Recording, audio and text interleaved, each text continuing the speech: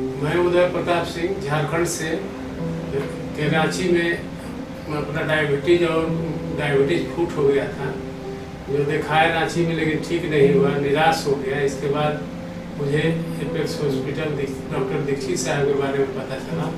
इसके बाद मैं बनारस आ गया और डॉक्टर दीक्षित साहब की देख रेख में, उनके बातों को मानते हुए मेरा डायबिटीज़ कंट्रोल किया गया और घाव ठीक हो गया। थोड़ा सा बचा है, वो भी ठीक हो जाएगा। डॉक्टर साहब के दिशा निर्देशन में मैं पूरा स्वस्थ हूँ। आपको मालूम है डायबिटिक फुट एक ऐसी बीमारी है जो डायबिटीज़ होने के कारण पैर में जो छोटे से घाव बन जाता है, जिसके बारे में मरीज़ को पता नहीं चलता है। ये घाव जब बड़ा हो जाता है और एक ऐसा घाव बन जाता है जो कि पुजता नहीं है। हमारे कॉमन भाषा में कहते हैं, ये घाव पुज नहीं रहा है, यानी कि घाव भर नहीं रहा है। इसका कारण ये होता है कि उसमें इन्फेक्शन हो जाता है मरीज़ की शुगर बढ़ी रहती है। इसके अलावा उसमें से जो रिसाव होता है जिसको हम लोग पंछा बोलते हैं, यानी कि लिफ बोलते हैं। तो ऐसे मरीजों को सबसे ज़्यादा ज़रूरी होता है, इनका शुगर मेंटेन किया जाए।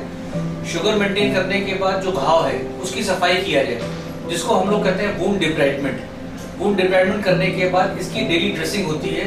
एक ऐसे मरहम से जो नॉन इरिटेंट हो वहाँ पर, यानी कि उसको लगाने से वहाँ पे और घाव न बढ़े, यानी रिसाव और न बढ़े।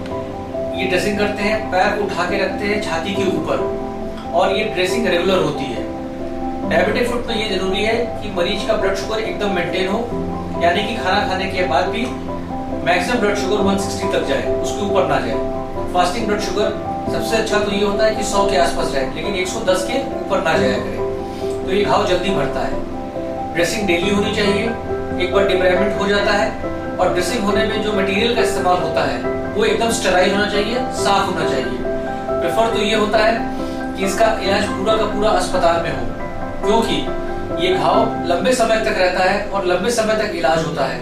तो कई बार मरीज़ अपने घर चले जाते हैं। जैसा कि हमारे उदय प्रताप जी घर चले गए थे। घर जाने के बाद इन्होंने इसका ध्यान रखा कि शुगर मेंटेन हो और जिस ड्रेसिंग से मटेरियल होता है, वो एकदम साफ़ सुथरा हो और हमारी भाषा में एकदम स्टेराइल ड्रेसिंग हो। आज इनका घाव करीब करीब अंठानवे परसेंट भर चुका है। दो परसेंट है, अगले दो या तीन हफ़्ते में वो भी भर जाएगा।